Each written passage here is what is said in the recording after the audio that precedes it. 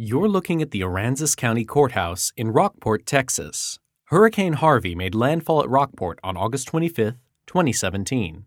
Homes and businesses here suffered massive damages from heavy rain, storm surge, and high winds. We visited this close knit community shortly after the storm as residents were hard at work cleaning up debris and securing their premises.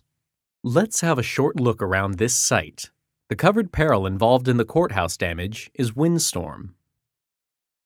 Here at the beginning, try to imagine where two trees came down in front of the building. There were two of them on the lawn where now a large pile of brush and debris has been created. Now, click on the brush pile and drag your mouse up and see if you can locate a shiny black rectangle. That is one of the two outside visitor benches that made it through the storm. The other one is over by the street parking in front of the building. They are positioned between garden beds where two large palm trees once stood. Click on the video and drag around so you survey the scene.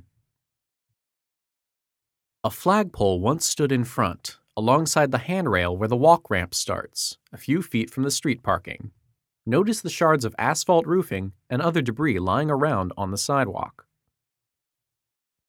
Drag over to the front of the building where you can see the FedEx drop box. Look at the rim of the roof from one end of the building to the other. See how much of the facade has been ripped off the structure? Most of it was sheet metal that ran along the length of the roof. There's a tall decorative wall to the right of the recessed entrance that is even slightly detached and hanging. Finally, mouse over by the historical marker sign and you can see where some glass doors were boarded up.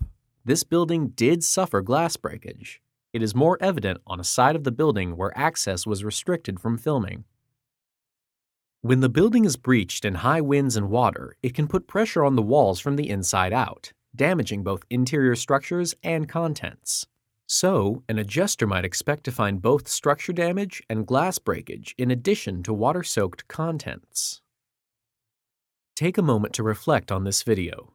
Can you think of any other types of loss or damage that a windstorm might produce?